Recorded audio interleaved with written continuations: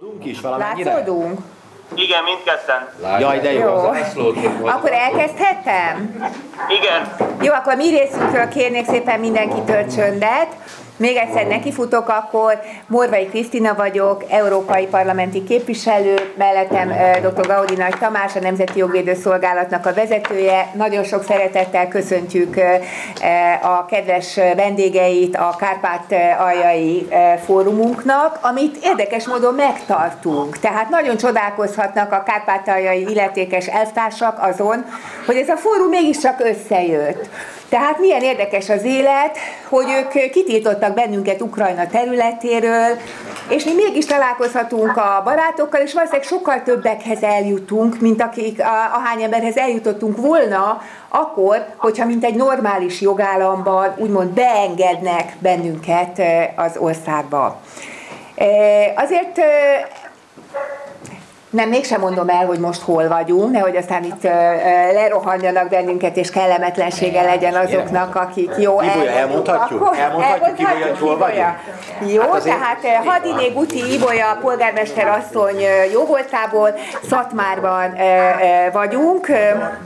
magyar eh, településen, ahol majd mutatja a kamera, kérnék szépen csendet a mi barátaink részéről, mert ugye ez egy nagyon érzékeny hangkapcsolat, tehát a Sonvirág együttes eh, adott nekünk egy nagyon szép műsort, és polgármester asszony és a helyiek nagyon nagy szeretettel fogadtak bennünket. Azután, a látszólagos megaláztatás után, hogy ö, visszafordítottak minket a, az ukrán határól. Röviden összefoglalnám, hogy mi is történt, annál is inkább, mert ez nagyon kapcsolódik ahhoz az előadáshoz, amit én most nagyon röviden tartani szeretnék, mégpedig azért röviden, mert hogy nagyon sokaknak szeretnénk az internet útján eljuttatni szerte a Kárpát-medencében azt az anyagot, amit most felveszünk. Tehát, ami történt, az a következő, Egy kicsit lassabban, mert túl gyorsan mondod, és nem bírja olyan gyorsan közvetíteni az internet. Tehát igen, nagyon akar hallok egy gyorsan. visszhangot Igen, azt próbálom alakítani, folyamatosan. igen. Fedezni kell. Az eddigi az nagyjából hallható volt? Hát nagyjából igen. Akkor nekifutok harmadszor. Jó, és nagyon lassan, szájbarágosan egy három perces üzenetet fogok elmondani. Jó? Tehát Jó. Morvai Krisztina, európai parlamenti képviselő vagyok. Szeretettel köszöntöm Kárpátaljai fórumunk résztvevőit, szerte a Kárpát-medencében, hiszen reményeim szerint sokan vagyunk. Sokkal többen, mint amennyien lettünk volna akkor, hogyha az ukrán, úgymond illetékes elvtársaknak nem jut eszükbe kitiltani bennünket Ukrajna területéről. Egy gondolatot szeretnék csak megosztani, mivel a technika sokkal többet nem enged, és ez pedig a következő. Nemrégiben lépett hatályba az Ukrajna és az Európai Unió közötti társulási szerződés. Ez a társulási szerződés egyebek mellett azt mondja, és az egésznek az a kerete, hogy Ukrajna, mint az Európai Unióval társult ország, köteles betartani egyfelől a jogállamiságnak a követelményeit, tehát jogállamként funkcionálni, másfelől demokráciaként funkcionálni, harmadrésztől pedig az emberi méltóság és az emberi jogok talaján állni. Szeretnék néhány gondolatot megosztani a kárpátaljai magyar testvéreinkkel ezzel kapcsolatban. Az egyik, hogy mi is az, hogy jogállam.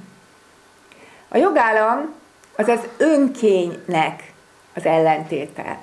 A jogállam azt jelenti, hogy nem néhány ember jogszabályoktól függetlenül eh, gondol egyet, és azt mondja, hogy nincs kedvünk megengedni, hogy európai parlamenti képviselők, vagy éppen jogvédő szervezet, mint a mi esetünkben, Nemzeti Jogvédőszolgálat, találkozzon kárpátaljai emberekkel, meghallgassa őket az oktatási törvényel kapcsolatos véleményükről, e, emberi jogaikkal kapcsolatos tapasztalataikról, beszélhetünk nekik az Európai Uniós normákról.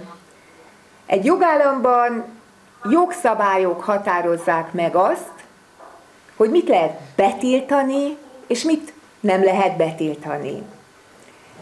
A jogállam ellentéte az önkény, amikor egyesek valahol láthatatlanul úgy döntenek, hogy megfosztják az embereket attól a lehetőségtől, hogy egymással kommunikáljanak.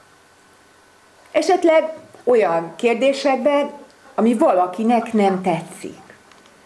A jogállamot és a demokráciát pont az határolja el a diktatúrától és az önkénytől, hogy a jogállamban és a demokráciában nem az számít, hogy valami, valamiféle felsőbb hatóságnak tetszik, vagy nem tetszik.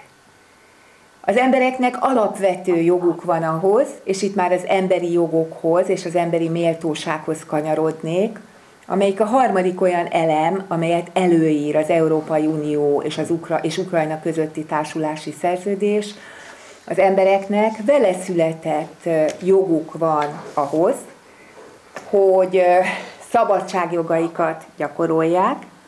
Ez azt jelenti, hogy cenzúra és kontroll nélkül a véleményüket kifejthetik, azt egymással megbeszélhetik, ez a véleménynyilvánítás szabadsága, szólás szabadsága, sajtó szabadsága, adott esetben tiltakozásként az utcára mehetnek, tüntethetnek, ez a gyülekezési jognak a gyakorlása, és ezeknek a, a e, kereteit nemzetközi normák határozzák meg, nem pedig X vagy Y elvtárs e, bizonyos pozíciókban.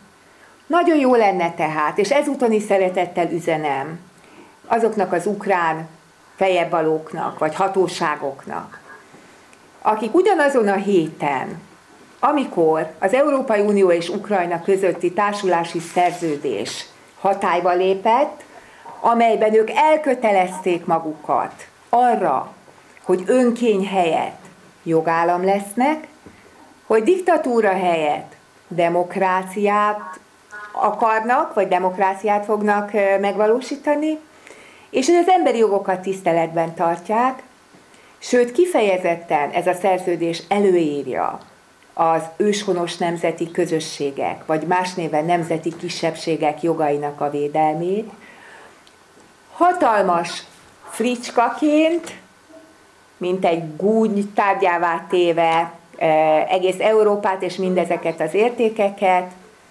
ugyanezen a héten, amikor ez a szerződés hatályba lépett, meghozták a gyalázatos oktatási törvényt, amelyel megfosztják az őshonos egyebek mellett magyar diákokat attól, és magyar embereket, hogy anyanyelvükön tanulhassanak. Óriási pimasság kell ahhoz, hogy ezt ne is akármikor csinálják, hanem pont azon a héten, amikor az a szerződés életbe lépett, amelyben pontosan ezek ellenkezőjére kötelezték el magukat. És hogyha egy európai parlamenti képviselő úgy gondolja, hogy ide jön, vagy oda megy az ukrán állam területére, Kárpátaljába, Kárpátaljára olyan emberek, olyan testvéreink közé, akiknek a nagyanyja, dédnagyanyja, ők nagyanyja is ugyanazon a területen lakott. Soha onnan el nem mozdultak, ott születtek, jogaik vannak, méltóságuk van, és hogyha mi ővelük kommunikálni szeretnénk, akkor úgy gondolják, hogy ezt betilthatják, és megtehetik azt, hogy bennünket az országból indokolás nélkül kiutasítanak. Három héttel ezelőtt írtam uh, Ukrajna Európai Unióhoz rendelt nagykövetének, írtam, hogy a Nemzeti Jogvédő Szolgálattal egy jogvédő monitorozó útra jönnénk ide. Részletesen és világosan megírtam, hogy mit szeretnénk. Írtam azt is, hogy tudomásom van arról, hogy olyan embereket, akik az emberi jogok védelmében járnak el, olykor-olykor kiutasítanak Ukrajnából, vagy kitiltanak. Szerettem volna tudni, hogy a mi 16 fős csoportunkból van-e esetleg valaki, aki hasonlóképpen járt. Petje volt, ugye? Mert ezt nem jogállamban, nem jogszabályok határozzák meg, hogy ki tiltanak ki, mi a jogszerű, mi a jogellenes. E, a nagykövet úr, akinek az lett volna a kötelessége, hogy engem tájékoztasson arról, hogy én történetesen ki vagyok tiltva, úgy gondolja, úgy gondolta, hogy jól kitol velem és velünk, és három hét elteltével válaszolt, közölve, hogy azt ő nem mondja meg, hogy ki vagyunk-e tiltve vagy nem, viszont nagyon haragszik azért, hogy én az Európai Parlamentben ezt mondtam Ukrajnával kapcsolatban, azt mondtam, amazt mondtam. Na most ez az ez, az, meg amaz, az nagyjából az volt, hogy súlyos problémák voltak a jogállamisággal, és vannak, súlyos problémák vannak a demokráciával, súlyos problémák vannak az emberi jogokkal, különös tekintettel a magyar őshonos nemzeti közösségek jogaira. És kedves nagy követ úr, kedves ukrán elvtársak, főelvtársak, az élet az bizonyította, hogy igazam volt. Önök ezzel a döntéssel, hogy megfosztották a saját állampolgáraikat és a mi magyar testvéreinket, az őshonos magyar közösséghez tartozókat attól, hogy a véleményüket kinyilvánítsák, hogy a szólásszabadsághoz való jogukat gyakorolják, hogy velünk konzultáljanak, hogy információhoz jussanak a mi előadásaink által, ezáltal önök bizonyították be, hogy bizony abszolút nem voltak érettek és méltóak arra, hogy az Európai Unió önökkel társulási szerződést kössön. Tudják, én egy büntető jogász vagyok, és az egyik szakterületem a e, úgymond feleségbántalmazás jelensége, vagy családon belüli erőszak. Ez látszólag egy távoli dolog. Miért hozom ide? Egy kicsit az jut eszembe arról, amit az Európai Unió tett Ukrajnával kapcsolatban, mint amikor van egy nő, akit megütnek egyszer, megütik kétszer, megrúgdossák harmadszor, összeverik negyedszer, majd szegény azt mondja, hogy én azért még reménykedem. Elmegyek és hozzámegyek feleségül ehhez az emberhez. És csodálkozik, hogy szegény utána még nagyobb ütéseket kap. Óriási hiba volt, hogy belementünk, bár én nem szavaztam meg, abba, hogy az Európai Unió társult országként szerződjön Ukrajnával, hiszen az élet az bizonyítja, hogy az alapvető feltételeknek nem felel meg.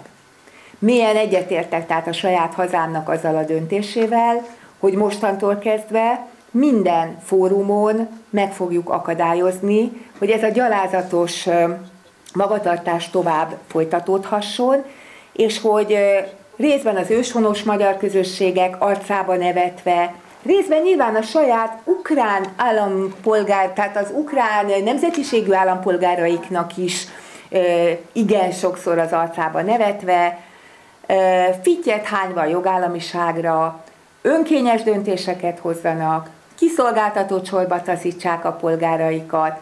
Mi ugye megtettük azt, hogy beütünk a buszba, idejöttünk, nagyon kedvesen köszöntöttek bennünket, egy szomorú emlékkel lettünk gazdagabbak vagy szegényebbek, de milyen életük lehet az ukrán állampolgároknak, azoknak, akik folyamatosan, nap mint nap, teljesen kiszolgáltatottak egy olyan államnak, amely a jelek szerint korán sem jogállam, nem demokrácia, és az emberi jogokat nem tartja tiszteletben.